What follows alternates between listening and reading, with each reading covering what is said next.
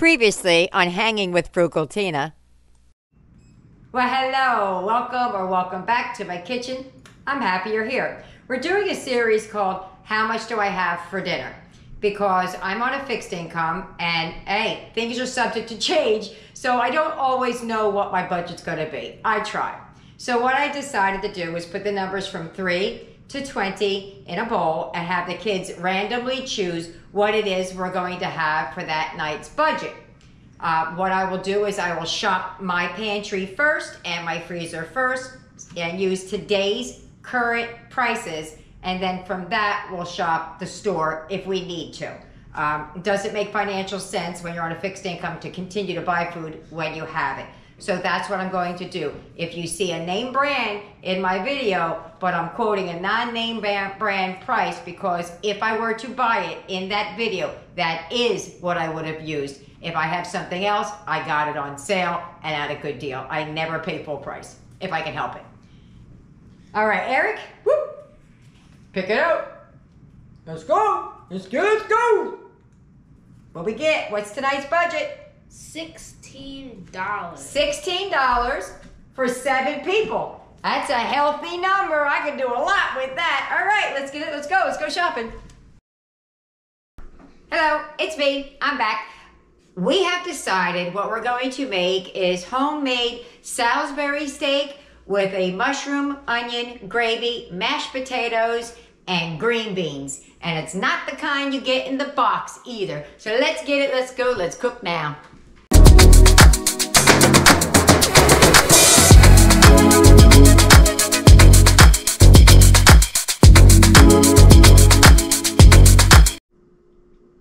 Right, this is everything you're going to need to feed seven people. I am doubling a recipe. So when I put this up on the net, I'm going to put the um, smaller quantities down. You could double, half, triple, whatever you're going to do. Um, the things that I am charging myself for will be the ground beef, both of them, the green beans in the can, the onion, the mushrooms, the beef broth, the potatoes. Not really sure if I should charge myself for the two eggs, but we'll see. What is my freebies? My freebies is a little bit of breadcrumbs, some, uh, a little bit of ketchup, salt and pepper, some Worcestershire, Worcestershire, W sauce, soy sauce, and mustard. I'm not sure if I'm going with the Gulden's or the Dijon. It's going to be one of the two. Um, either or is fine. But that's everything you're going to need to make this yummy, yummy meal. So let's get right to it. Okay, first things first. I forgot to mention that I do have two tablespoons of flour as well for a freebie. Um, I'm going to do the prep work, get it out of the way. I'm going to dice the onion, peel and chop the potatoes for mashed potatoes, and wipe down the um, mushrooms. When all that is done, we'll start cooking. Okay, so the recipe calls for a pound of ground beef, but we're a big family, so I'm doubling it. Um, I hate like heck to mix the ground beef here with ground beef there, but I mix it with chicken all the time. Anyway, um, I bought this ground beef at a discount grocery store that I just found. This costs less than the um, 70% beef. And I, I just couldn't believe it. And I'm going to go back and I'm going to buy a whole bunch more. First pack of ground beef. Second pound of ground beef in the bowl. I said pan before. So now all of the seasoning is going to go right in here right now.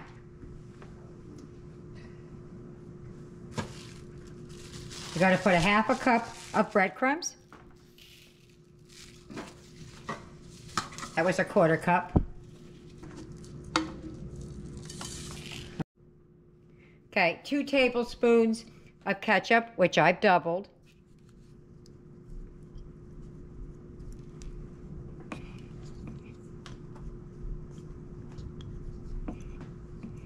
Okay. Have, it calls for one beaten egg. I have two.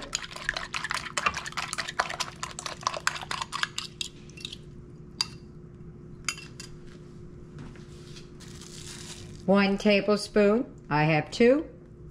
W sauce. And I am using the Dollar General brand.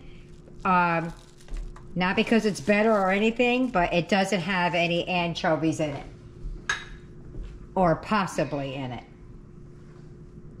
We did a teaspoon of soy. And I threw my spoons in the sink, so I'll eyeball it. Teaspoon of soy. And a teaspoon of mustard. I decided to go with the Gulden's. Boop. Okay, and now it's time to mix. You don't want to over mix.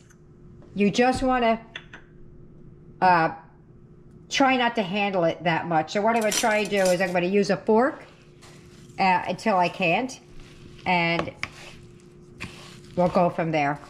So let me mix this up and I'll come back when it's all mixed. Okay, I forgot to tell you to add some pepper to taste. It also calls for a pinch of cayenne. I'm not doing that because I don't like the heat. Now I'm going to mix that up. Okay, so now we're going to make the patties. It works best if your hands are wet. So that's why you'll see my hands are wet and I just washed them. So we're going to make the patties.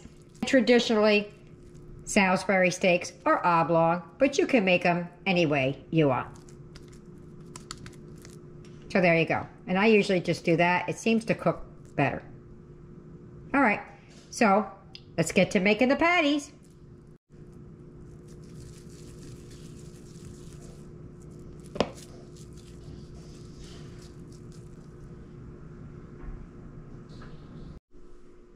All right, that made 11 and a baby one. So let's get right to cooking. Now, most people would, would cook the hamburger first and then make the gravy to go on top. I do it in reverse because I want the gravy ready when my hamburgers are ready. And I want my hamburgers sitting on the side doing whatever. So I'm going to let the hamburgers sit like this. I'm going to cover them up. And I'm going to put them in the refrigerator while I make the gravy. Sorry, I choked on my own mouth. I don't know. I'm going to let those sit in the refrigerator while I make the gravy. Okay, so we're going to make the gravy first. Said that weird. Gravy. I got my two tablespoons of butter right here.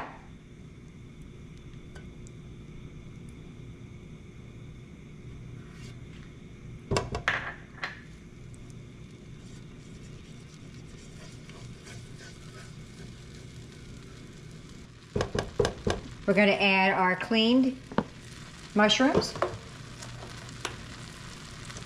That's why they're in that container. I wiped them all down.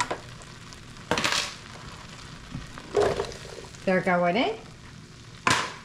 And the onions are going in. Now I slice them, I was going to say longly, but I don't think that's the right word. I slice them, not chopped. I don't know how to say it. And strings, shoelaces, I don't know.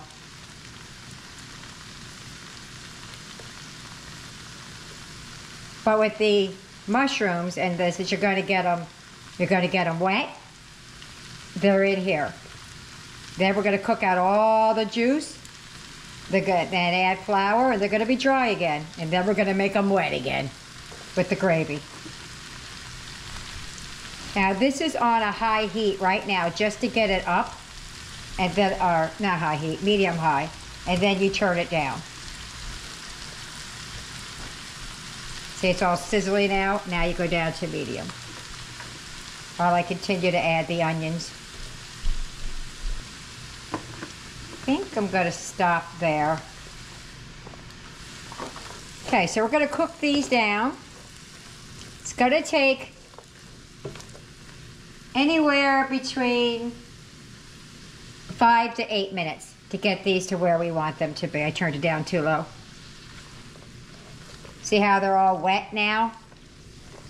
We don't want any of that moisture. We want it all gone. So I'm going to let these cook down and then periodically I'll check back in. Okay, so they're starting to get translucent, but we still need it to go further because there's still liquid in the pan. We want these to get to a nice deep color. I nearly forgot to add the pinch of salt here. That helps get the moisture out. You see how that's coming along? Coming right along nicely. That's what we want right there. Almost there. Okay. We want it like that. So I, I cut the heat back. And now we're going to add the flour. Two tablespoons.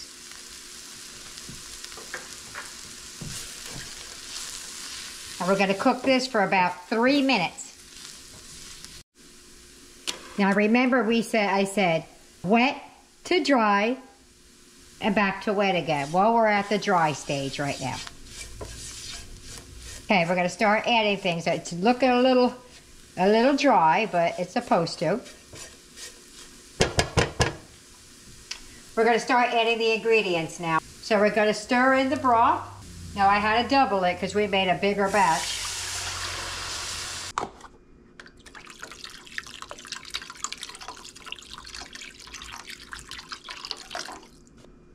Going to add, oh, I forgot I got to turn this back up to high. Just want to get it back to a boil. We're to add ketchup. A little bit of Worcestershire in that one.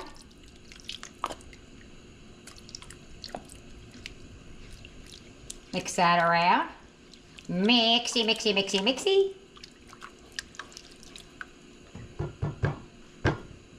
So all we want to do is get this to a boil right now. As soon as it gets to a boil, then we're going to reduce the heat again.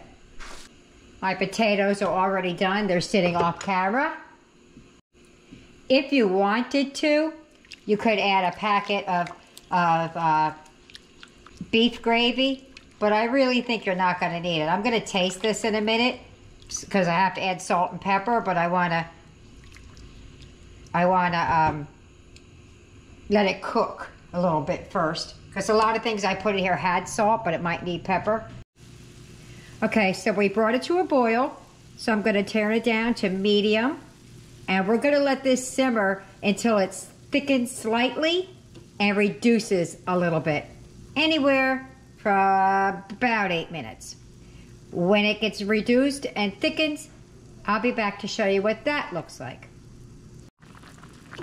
Okay, so this has thickened slightly. We don't want it super thick just yet because we're gonna it's gonna thicken more after we put the the uh, steaks in there. So it's it's like halfway there, maybe a little more than halfway.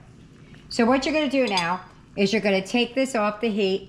You're gonna transfer it to some heat safe vessel and then we're gonna do the burgers. The reason I do this in reverse is when the hamburgers are done, we're gonna pour the gravy right on top. Our burgers aren't gonna be sitting there waiting 10 minutes for this and eight minutes for that. It's just brown the meat, throw the sauce on, or the gravy. So I'm gonna transfer this to a heat safe bowl and then I'll be back. Okay, I have a medium high heat, a little bit of butter in there, seems a little odd when you are when you're making burgers, but or bur beef meat. I keep calling them burgers, and they're not. We're going to put these in here, and we want them to sear on both sides.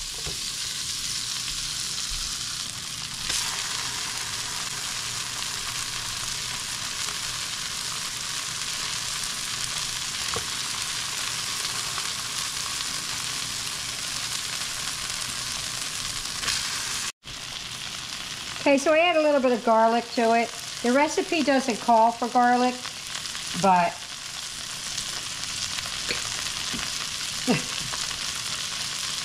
I want it on there. So I decided to add it last a minute.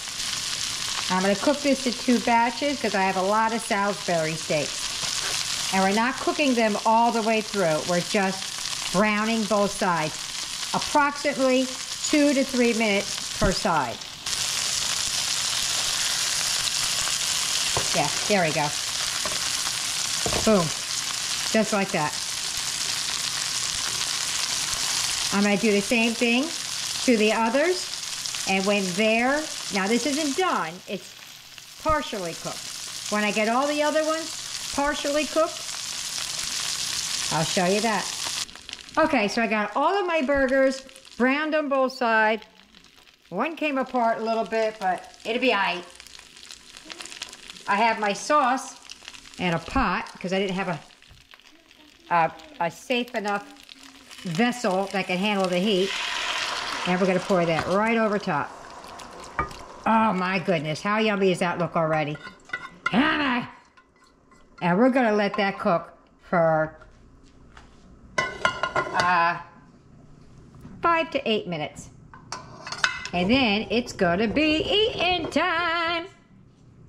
I tasted the gravy. The gravy is absolutely spot on. Thought it was a little salty at first, but I tasted it with a little bit of the mashed potato. Oh, perfect. I was concerned that it was going to be too salty and it was not even. Okay, let that simmer and I'll be back. I don't know if you could see what I see, if the camera does it any justice, but that gravy has thickened up. The mushrooms and onions are floating around in there. Those Salisbury steaks are looking yummy. My green beans are done. My potatoes are done. The only thing left to do is put this on a plate and put it in our bellies. So let's get to getting. If you get any benefit at all from my content, you can help me out by clicking like, share, commenting, and definitely hit that subscribe button. And don't forget to hit the notification bell so you'll be notified every time I upload a new video. And there's my plate with all those mushrooms and onions and you name it and whatnots and doodads. She's looking yummy. Yummy. Eric? Yummy. He say yummy. Let's get to the table and get to the taste test. I'll meet you at the table. Well, hello, we're at the table. It? What do you say? Well, hello. Hello. I have never made, even though I made this many times when my adult children were little, I have never made this for any of these kids. So it's a first for them and a really long time for me. So I'm gonna give that a little taste test to see what's going on. It's covered in mushrooms and onions and I could use a little bit more gravy on mine. I love gravy. I'm gonna try it with some green beans. You ready? Yep, I am. Got it, Aiden? Mhm. Ready, set, go. Oh, Mmm. mmm. That was a gravy explosion in my mouth. Yeah. That's D, D, D, D, delicious. I don't know how to explain it. It's like I know, you let the fly in. mm-hmm. Yeah. The gravy, mm. top shelf. Top shelf. On the on the mashed potatoes, everything. Aiden, you got anything to say? Mm. I have mm. one thing to say. A hundred percent try again. Oh, it's a must try. All right. Well, let me get the rest of my clan fed. So I'll see you at the wrap up. Well, dinner is over. Do you think they liked it? I think so. They ate so much. I thought I made too much food. Nope. Didn't make too much. Eric ate so much, he tried to go back for his fifth helping. And all he could do was go, ugh, because he couldn't eat. And he oh. wanted to. He's making noise over there now. So, I hope you try it. I know you'll like it. And don't forget, click on my face below and become a subscriber. And I will continue to make more videos just like these. See you later. Bye.